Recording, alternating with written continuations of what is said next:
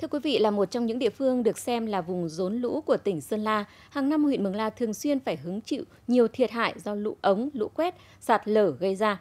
Trước thực tế đó, chính quyền địa phương đã tập trung triển khai các dự án bố trí sắp xếp dân cư vùng thiên tai đến nơi ở mới an toàn, ổn định. Khu dân cư bản Nà Lếch, xã Trường Lao, nơi tái định cư cho 23 hộ dân vùng sạt lở của bản Tạng Khẻ bị ảnh hưởng nặng nề do trận thiên tai đầu tháng 8 vừa qua hàng chục ngôi nhà kiên cố, đảm bảo an toàn và ổn định về lâu dài đã được dựng lên. Kèm theo đó là các công trình phụ trợ được đầu tư, giúp người dân nhanh chóng ổn định cuộc sống ngay sau tái định cư. Được các cấp chính quyền, xã bản quan tâm, gia đình tôi được chuyển đến nơi ở mới.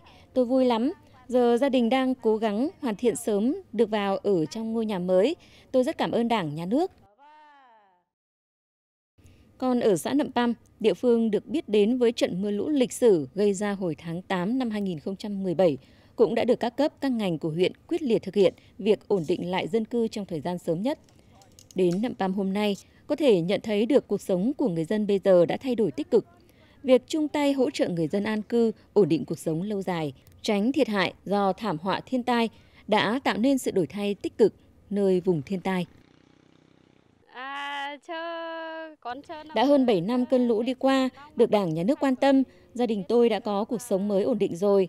Hiện tại đang vào mùa thu hoạch lúa, năm nay được mùa nên gia đình cũng phấn khởi lắm. Gia đình sẽ cố gắng làm ăn để được hơn xưa. Với địa hình đồi núi, nhiều sông suối, Mường La thường xuyên xảy ra hiện tượng sạt lở, lũ quét, thiên tai mỗi khi vào mùa mưa bão. Thực tế những năm qua cho thấy những trận thiên tai đã gây thiệt hại về người và tài sản của nhà nước và nhân dân. Xác định điều đó, huyện Mường La coi việc di rời người dân ra khỏi vùng có nguy cơ sạt lở để đảm bảo an toàn là nhiệm vụ cấp bách. Thời gian qua, huyện đã có nhiều cơ chế chính sách để hỗ trợ các xã khảo sát địa điểm an toàn, bố trí nguồn ngân sách để xây dựng các khu tái định cư cho người dân. Thực hiện cái ờ, chương trình ờ, bố trí sắp xếp dân cư cho ờ, đồng bào bị sạt lở do thiên tai Đến nay thì ban huyện Mường Lao đang tổ chức triển khai tổ chức ờ, kiểm tra đẩy nhanh tiến độ thi công và trên ờ, địa bàn đã tổ chức triển khai khoảng 6 cái uh, dự án sắp xếp dân cư.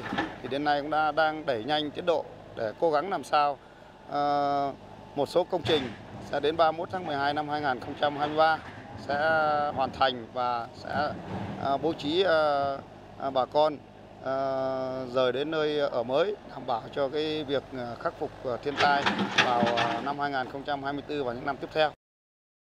Nhiều dự án sắp xếp, bố trí ổn định dân cư đang được cấp ủy chính quyền địa phương tập trung thực hiện ở vị trí mới an toàn. Cơ sở hạ tầng cơ bản dần được đầu tư hoàn thiện, đã giúp cho các hộ dân vùng thiên tai sớm ổn định cuộc sống, yên tâm lao động sản xuất, phát triển kinh tế.